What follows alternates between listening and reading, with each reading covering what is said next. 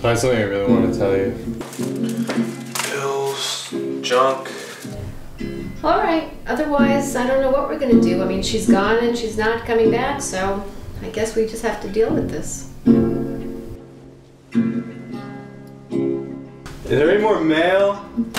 No, I don't think so. Damn.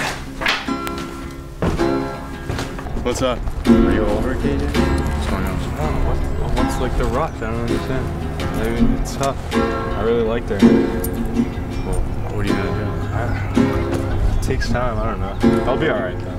Alright. Alright, see you later. Thank you. Hey, Adam, what happened to this picture? Uh, long story.